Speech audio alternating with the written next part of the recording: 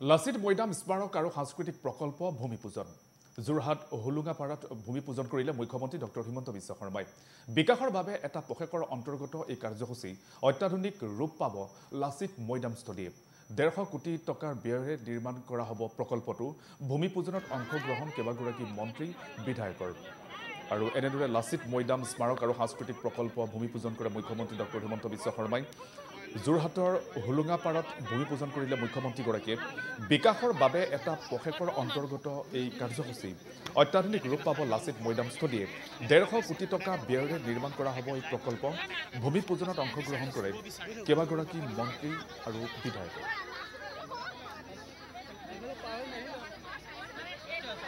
বুলি কাৰ্যসূচীৰ মাজেৰে ভূমিপূজন সম্পন্ন হ'ল লাচিত মৈদামৰ স্মাৰক আৰু সাংস্কৃতিক প্ৰকল্প।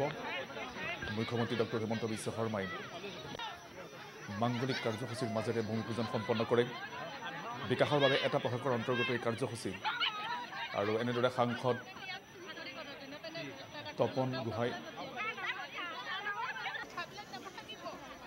আৰু এনেদৰে মন্ত্ৰী কেশৱ মহন্ত বিত্তমন্ত্ৰী অজন্তা নেওগ পীয়ুষ হাজৰিকা ভালেকেইজন মন্ত্ৰী তথা সাংসদ বিধায়ক উপস্থিত থাকে এই ভূমিপূজন কাৰ্যসূচীত। সাংসদ মন্ত্ৰী বিধায়ক স্থানীয় বিধায়ক উপস্থিত থাকে এই অনুষ্ঠানত। মাংগলিক কাৰ্যসূচীৰ মাজেৰে ভূমিপূজন সম্পন্ন হয়। লাচিত মৈদাম স্মাৰক আৰু সাংস্কৃতিক প্ৰকল্পৰ ভূমিপূজন সম্পন্ন কৰিলে মুখ্যমন্ত্ৰী ডক্টৰ হিমন্ত বিশ্ব শৰ্মাই।